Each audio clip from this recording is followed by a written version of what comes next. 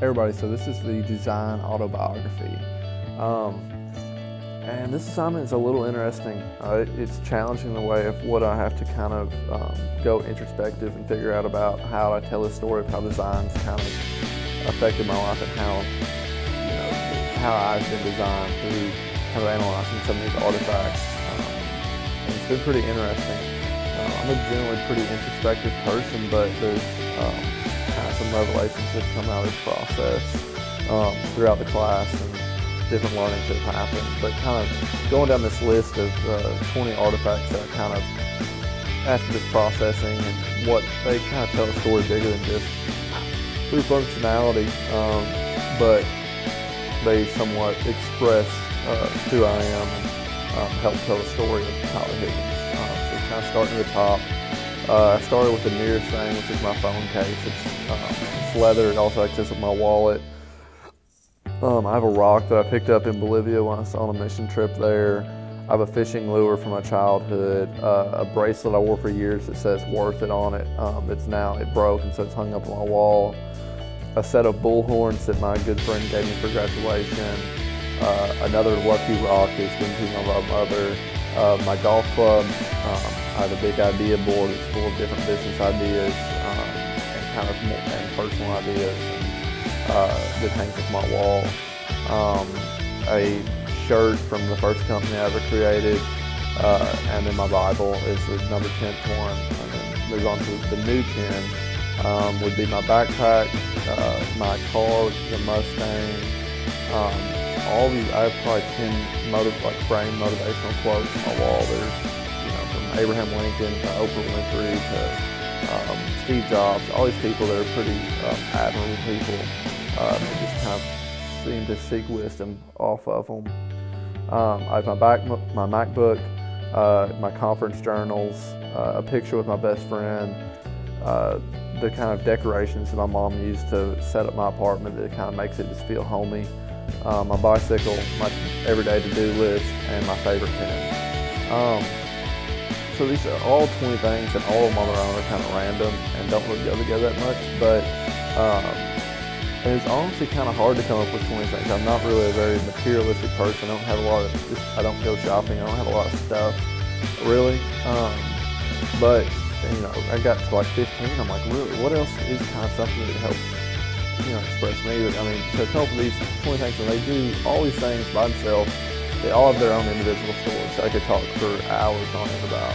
Um, but when they're put together, they really do kind of encompass who this person is of Tyler Higgins. You know, uh, if somebody was designing a character of what I would be in a cartoon, they could take all these things and incorporate them over a storyboard um, and it would build into this personality that I believe I am. Um, and that's a whole nother conversation of, you know, what can you really say, you know, it, it's all my perception of who I think I am, um, and that's really subjective and not necessarily, you know, how I might portray myself to the world to be uh, vastly different. Um, but you look at these kind of, you know, um, artifacts as they're, they're just the stories behind them and the value and the personalities that they portray on their own, put them together, and uh, they really do help design uh, who we are and um, kind of who we carry ourselves to be. Everybody expresses themselves in a different way, and it's one through kind of their emotion, but it is, you know, how they dress and how they act and the things they do put value on their life. Um, you know, a random rock that would look like something out of a driveway would mean nothing to anybody. But to me, it's just saying I will hold on forever and uh, tell a story that was the most adventurous story of my whole life. Um, I will cherish the day I die. Um, and I could I could go on and on about every single thing in here, but they all speak into either kind of what I think my personality represents and the things I'm interested in, like entrepreneurship. I, I have a pen that's a little special into that. I have my MacBook. I have um, stuff that I try to be kind of a, a little forward thinking, um, including that. I, in a spot where I'm trying to grow spiritually, and so kind of talking about my mission trips and looking at an introspective way into you know my uh, theological studies of my Bible and how much kind of that um, value has onto it. Um, there's all kinds of, and I could go into more detail on that. Um, but I thought it was really interesting when I was doing this kind of analysis is looking at, you know, what would this look, list look like two years ago? Um, you know, if I just graduated high school, how would this be different? Or if I, uh, you know, five years from now, how is this going to be different? You know, what things have going to come into my life that are going to be that are going to blow some of these out of the water? Uh, and look at you know as we're always evolving, um, and this personality that we're designing um, over time is always going to be changing. You know, that, that character we're playing will continue to change and evolve and gain experiences and knowledge and uh, experience you know trials and tribulations that alter our perspective and alter and stuff. Uh, but at the end of the day, we are you know anybody would say you know 20 years from now, I would hope to have this kind of life. You know, if it's I want you know the house and the white picket fence, or I want to travel here, I wanted to reach this professional goal. We all want to design this life for ourselves, and we all want to kind of in our minds we have this you know this is who I am, whether that's based off where you came from or where you kind of want to go or you know it's, this is my personality trait you know this is this is who I stand for this is what I believe.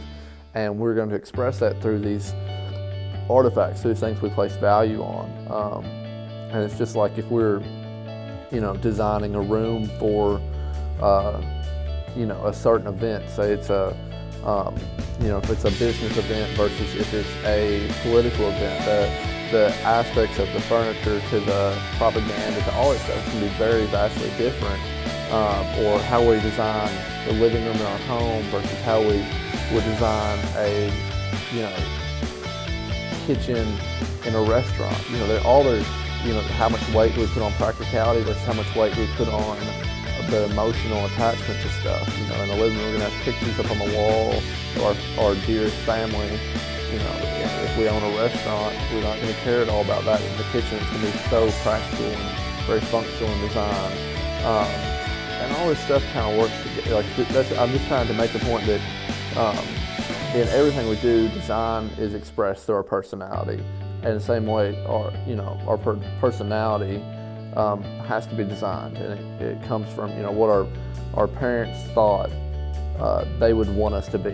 You know, they were the first ones to really start designing us. They dressed us. They uh, got us interested in stuff that they thought would be best for us to design the most optimal life in their opinion. And you know, I personally can be super grateful for the parents I had, but I can look at well, you know, now I'm getting older and I, I kind of making my own opinions about stuff. Um, I think it's an interesting time for most kids that are kind of in this college stage and and looking at something like this project is it makes you really start realizing that, all right, you know, what am I going to take from here and how am I going to design my life going forward? Um, up until this point, a lot of, you know, who we are is based on our, our parents or the, the friendships that we just kind of made because of proximity growing up. Um, but that's kind of, can look at all how these things can possibly affect us going forward or how they've affected us in the past. Um, but that design process really, it's, you know, it's looking at something and seeing how, you know, through creative problem solving, um, how can we can be innovative, you know, functional, how can we uh, stand out, but also serve the purpose, or how can we accomplish this certain feeling through, um, you know, environment, through it's all, you know, how are my senses going to interpret something? Um, uh, is whether it's a you know we design relationships, we design products, we design services, we design organizations. Um, all that stuff comes from uh, a base root of I'm going to make something that I, I want to be attractive to people I want it to attract, and I want it to serve its purpose, whatever that is, um, and go on to continue to do that. Uh, but so it's kind of been a lot of spillage a little bit, uh, but the overall autobiography, if I could kind of sum it up, is that, you know, we have to keep kind of working on this design. It's, uh, you know, it's never done. It's uh, always in progress.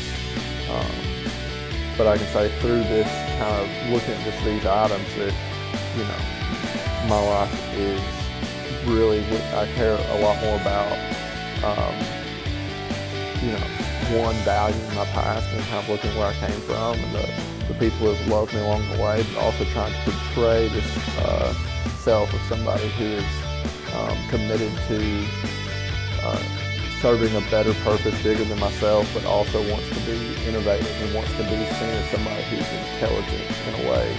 Um, and I've seen kind of some self-realizations that, you know, everybody's putting on a face um, in some way or another. Everybody's trying to portray themselves as somebody that they may or may not be all the time.